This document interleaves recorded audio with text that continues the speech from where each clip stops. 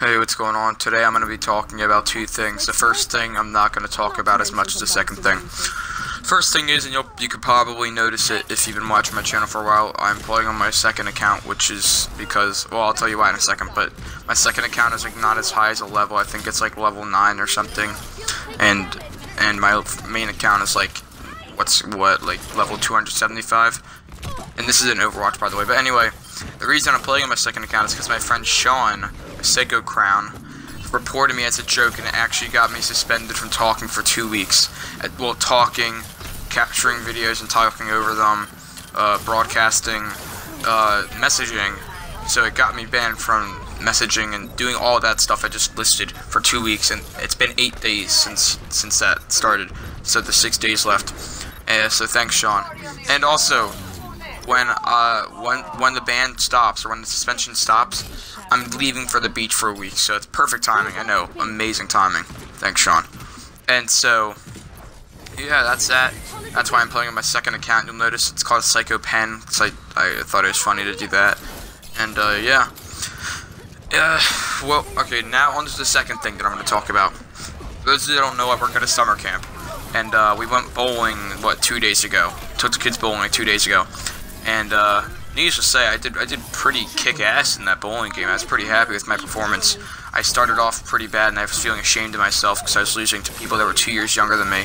But then I was able to come back with two strikes and a spare, and I felt never hap never happier. I don't know what, the, what I, know. I never felt as happy. There we go. That's the way to put it. Um. Anyway, not about the bowling match. Sorry, I'm getting off topic. So, uh, long story short, I left my water bottle either A at the bowling alley or B on the bus. And either way, I'm probably never going to get it back. But this was no, this was, sorry, I don't know why I'm wording it weird. This is not just some ordinary water bottle, guys. I've had this for two and a half years. I've had this water bottle for two and a half years. That has a special place in my heart. And now it's gone. Because I left it somewhere. We've done so much stuff together. In the morning, we would go get water. We'd, I would drink it. I would I, I, brought it to camp for two years. Has a special place in my heart. I've had it for so long. It's like a it's like it's like a it's like a it's like a friend.